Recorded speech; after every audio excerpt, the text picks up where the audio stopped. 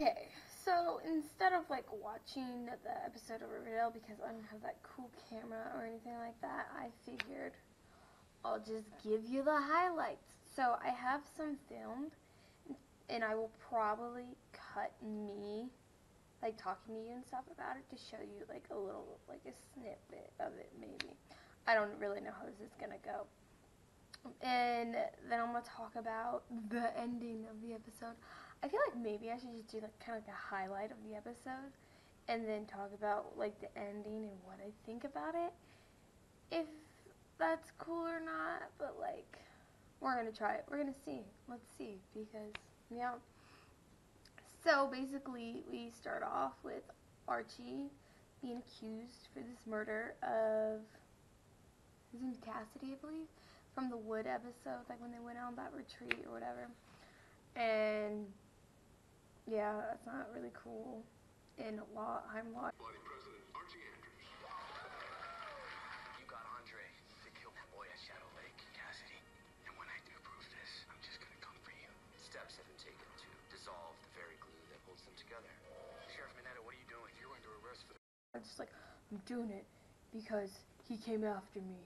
And yeah, that's what I'm doing it for. Really, it makes no sense. He's just basically doing it because he can. And he's like, I want him off the table because that's how I can hurt you without hurting you.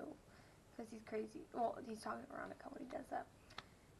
Yeah, because he's crazy. Daddy, it all worked out. Just like you planned. Archie didn't play by your rules. He threatened you, so you punished him. You destroyed his life. You think I did all this to hurt Archie, Mia? Because he threatened me? No.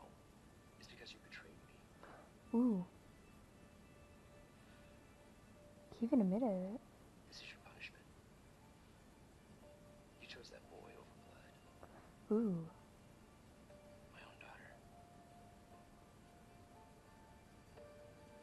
You don't have a daughter anymore. Dang.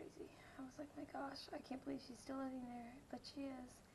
And basically, let's talk. So we got uh, Archie got a, a snake tattoo on his right shoulder. Speak from experience. Right? Your mind is the first thing that goes when you're locked up. If you can keep your head on straight, you can get through anything.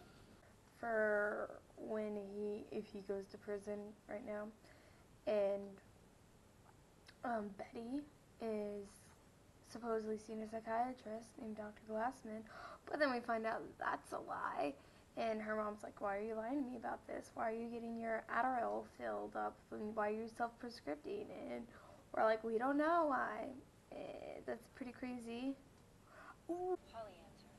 They can't complete an Adderall prescription that was requested by your doctor because you had one refilled in Greendale two weeks ago.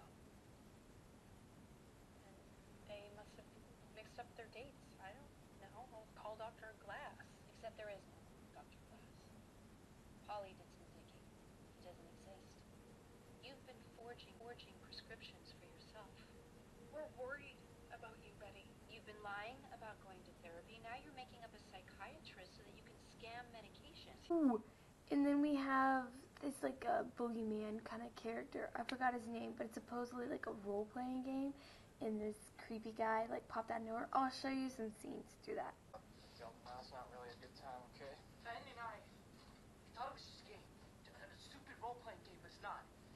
가져가지고.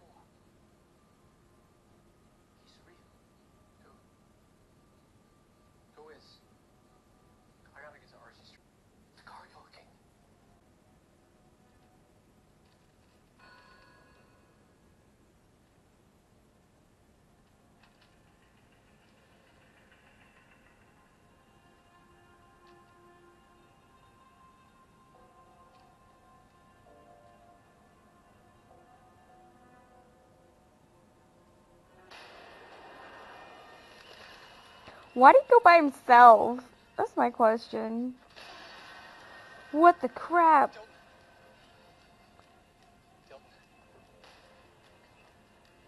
Told you he was gonna die or disappear or something.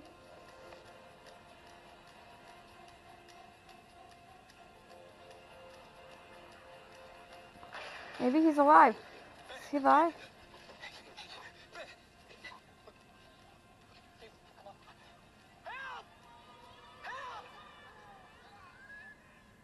Can see that. But like that's gonna be our mystery for the season, figuring out what's going on with this. But it's not supernatural. Lili Reinhart said in an interview they're not going supernatural.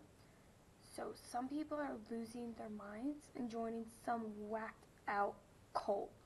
Besides, you know, Alice and Polly, they're in a cult. In my opinion, they're in a cult. You know what I mean?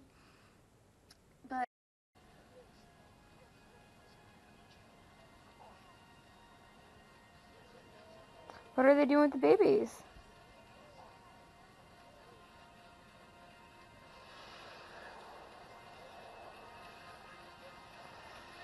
If they drop those babies, I'm gonna die. Whoa, my gosh! What the crap? Oh, I would pass out too.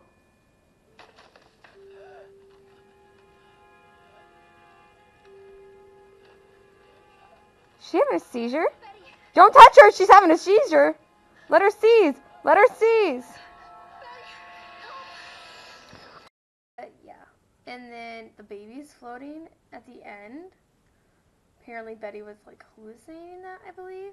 Or we, we don't know. We don't know because the episode end airs like tonight. But this is probably not gonna go up till tomorrow or whatever because I suck at editing and I have too much in my life and I hate this so much. I have frost in my face, because I had a donut. It was delicious, by the way. Delicious. I was so happy. I dreamed about having a donut last night whilst I was dreaming in Spanish because I do that now. I dream in Spanish. Anyways, and then Betty like saw the babies floating. Like one's Juniper and I don't remember the boy's name. I only remember Juniper because that's a dormitory in GCU. So yeah. Anyways, she fell down and she had a seizure and Archie went to prison and that is how Your Honor, in lieu of another trial, the state is prepared to offer a deal for a lesser sentence. Instead of prison, time served plus two years in juvenile detention. If Mr. Andrews will plead guilty to the crime of manslaughter. Your Honor, I'll take the deal. they ended it. And so we're probably gonna just gonna see Monica visiting Archie a lot at prison and he's gonna go through the prison life. Yeah. And we're gonna figure out what's going on with Betty and why she's having seizures. Well, hopefully. And that is my recap or take on this Riverdale episode. And um, I like this. I like telling you about this. And then me like inserting clips throughout. This is gonna be good. Yeah.